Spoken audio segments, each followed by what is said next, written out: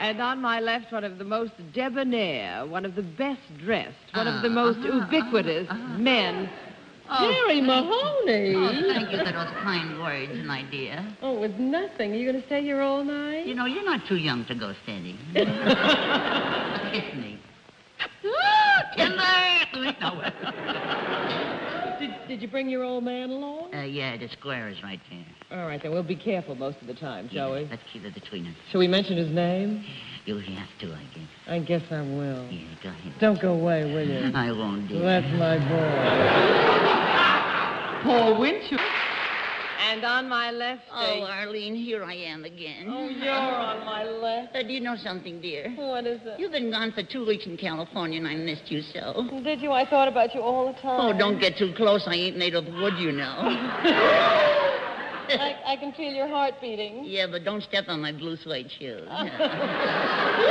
Timber! Did you bring Paul Winchell with you? Uh, yes, he's over there, but what you see in him, I'll never know. I only see you in him. Thank you, John. Good night, Paul. Good night, honey. Oh, don't. Oh, oh, cut it out. I'm a fire trap, will you? And to my left, a gentleman, a witty fellow who has certainly found out that two heads are better than one. Uh, that's me, that's me, and I'm here again, my dear. Jerry. I want to tell you, you look so marvelous in this new formal. Oh, thank you. You know, the reason I'm wearing a tuxedo was because I, I, I, I, I, I, yeah, yeah. I mean, uh, the last time I was here, I was wearing the sweater, and this, uh, oh, please, Arlene, I'm only human. Don't look at me. All right, you be quiet now until we play the game, will you? Just, Mhm. just hold beautiful thoughts. all right, all All right. right, dear. good night, John. Good night, Jerry, dear, and good night, Paul. Nice to have had Good you. night. Thank you. And nice being under the desk. You got to run in your stocking, you know that. I have. Uh, ladies and gentlemen, here's Jerry Mahoney's ex-girlfriend, but still number one in my book, Miss Arlene Francis.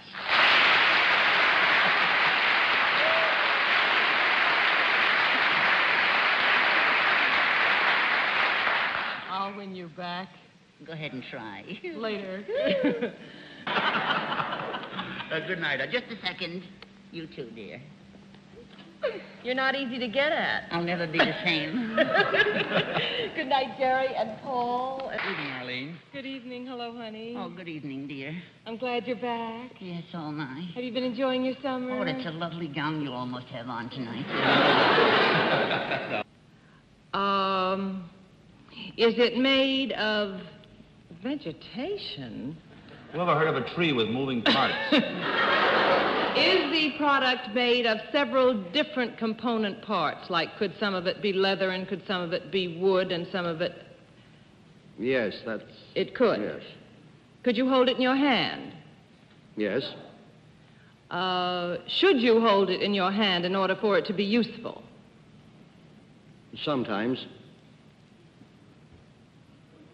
Sometimes. You say there's something entertaining about it. Does it entertain children? Yes. Do people watch whatever this product is? Yes. Do they look at it? Yes.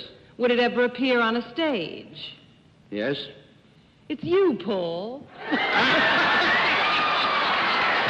it is, Paul?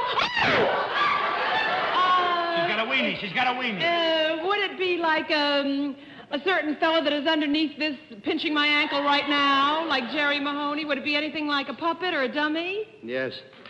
What do you...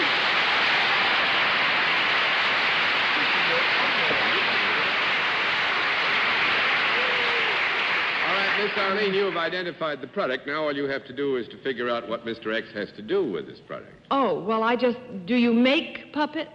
That's right. That's right. I'm afraid yeah, uh, don't you think that Jerry should stand up and meet his maker? I mean, you didn't think Jerry Mahoney, did you? Come on. This is the fellow that did it. Well. I don't Mr. Frank. Marshall of did he do Chicago. Jerry. Huh? This Mr. Frank Marshall of Chicago. oh, Frank Marshall. Oh, of course. How are you, Marsh? Paul? Good to see you. Oh, I know. That's why you signed the X. That's why the X, Paul. We figured Right, you'd well, give too now I much got love. ham and eggs. That's it. Right there. and I was not pinching your leg. I didn't want to say it was Paul. That'll be enough of that. Oh, tell me, uh, uh, these services, are they for men and for women? Yes. Oh, I got a yes. I got a yes. Did You hear that? always got do, I, yes. heard. Uh, I beg your pardon?